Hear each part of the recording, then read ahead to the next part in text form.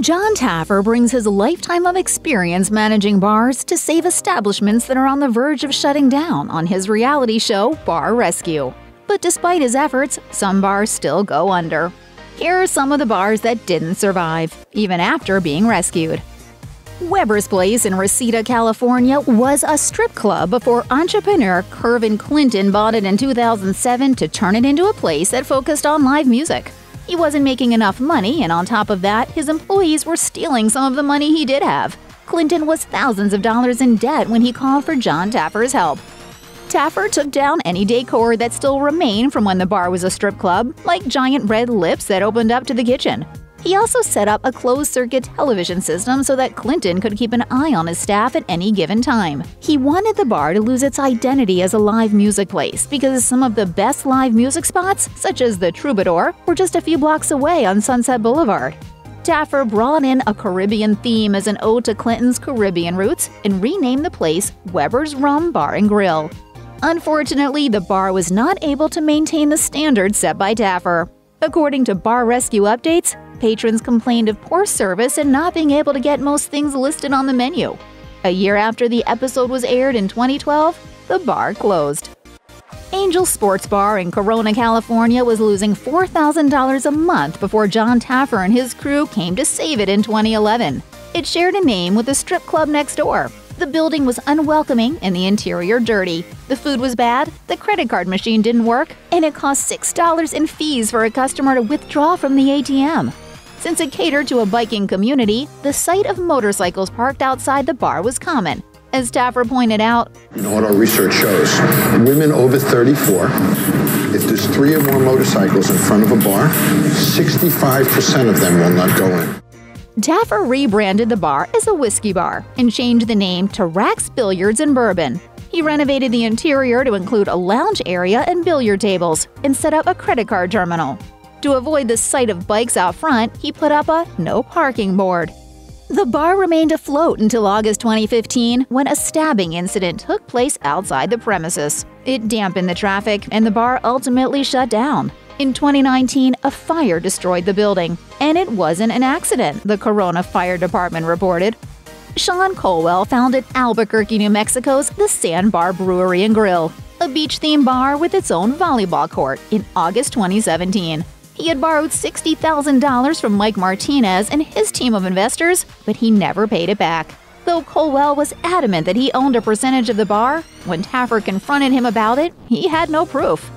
It became apparent to Taffer that the bar was losing money mainly because of Colwell's poor management skills. He was fired, and the rest of the staff was trained by mixologist Amy Kofsky and chef Jason Santos. Taffer renamed it Playa Island Bar and redid it in a way that every piece of decor shouted beach. The cocktail menu included a shareable, large format frozen drink and jello shots, targeting groups of people that came in together to play volleyball. In the weeks following its August 2019 rescue, the bar seemed to do well, seeing a consistent increase in sales but according to Bar Rescue updates, the bar reverted to its old name after taking a poll on social media. While it remains unclear exactly why, the bar shut down by November of the same year. New England's Ale House in Palm Harbor, Florida was almost a million dollars in debt before Taffer and his team rescued it in 2019. Owner Tara Cook was quite desperate to get it back on track. She told Taffer that she could lose the bar, her home, and her truck if it failed. The issue was poor management. The staff complained that the manager verbally assaulted them. Taffer took care of that by having Cook give the manager an ultimatum. Everything I have is on the line, and I need you on board, a thousand percent. Taffer renamed the bar Das Brauhaus and had the interior redone to look like a German beer house. Award winning mixologist Mia Mastroianni and chef Michael Ferraro were brought in to train the staff. A beer cocktail and a beer cheeseburger were included in the menu. The bar got positive reviews after the rescue, and sales went up by 39%. However, Bar Rescue Updates reports Cook decided to close the bar on Mother's Day 2019 as she found it hard to manage the place as a single mom with two kids going through a divorce. Lonnie Walker launched Chicago's underground Wonder Bar in 1989 as a place for live music. She herself performed there four nights a week.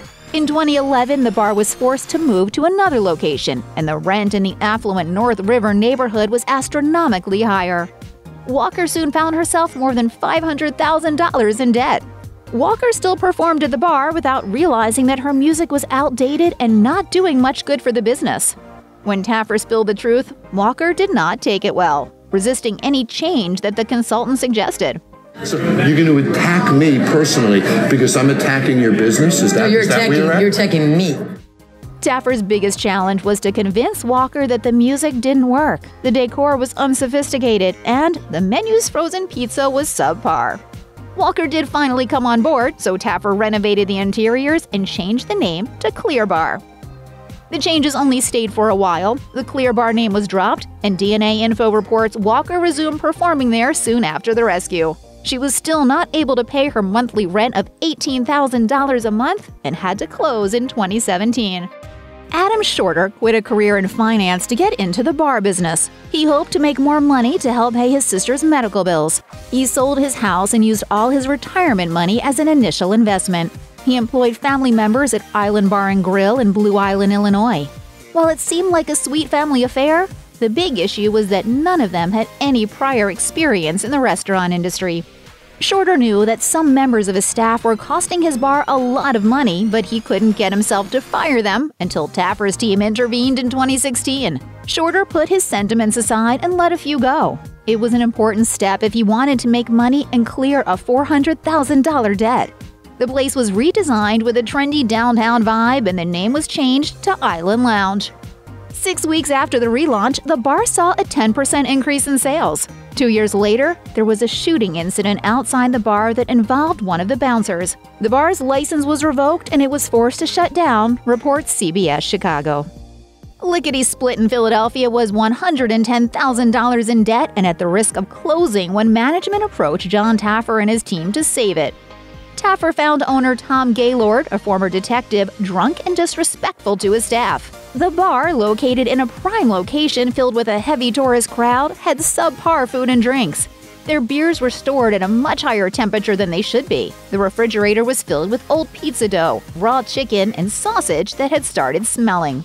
Taffer redid the interiors, turning the two story space into two different concepts. The lower level was called Alleged Pizza and Bar and featured a pizza station right by the window. The upper level was called Second State Lounge and had an entirely different menu. He also introduced Gaylord to a doctor who specialized in post traumatic stress to help him with his drinking problem. While the episode had a happily ever after ending, the bar didn't. Most of the decor at Alleged Pizza was taken down soon after the rescue. According to the Philadelphia Inquirer, the upper level was converted into a space for live entertainment. A year after Taffer's rescue, in 2015, the place closed down. With its access to Lake Marie, Dirty Rooster in Antioch, Illinois drew boating enthusiasts in summer and snowmobile enthusiasts in winter. Despite the place being a buzz almost all year round, it was losing up to $4,000 a month. Taffer came to the bar's rescue after a call from Rob Hoffman, who co owned the bar along with two others. Hoffman lived right above the bar and clearly had a drinking problem. When drunk, he gave away free drinks to customers, costing the business a lot of money. Taffer connected Hoffman to a counselor and gave him a second chance to prove he could manage the bar. The concept was changed to reflect a lakeside hangout spot. Renamed Lake Marie Lodge, the dull gray walls were changed to look like they were made of wood. A boat shaped promotional platform was set up right at the entrance to pull the crowd in. A little over a month after Taffer's rescue, food and beverage sales were up by 70%. Hoffman eventually went back to his old ways, reports the Gazette Review. The bar got rid of the special cocktails the staff was trained to make and received several negative Google reviews about service, furniture, and beverage quality. The bar closed, and a bait and tackle shop now stands in its place. Check out one of our newest videos right here. Plus, even more Mashed videos about restaurants and bars are coming soon. Subscribe to our YouTube channel and hit the bell so you don't miss a single one.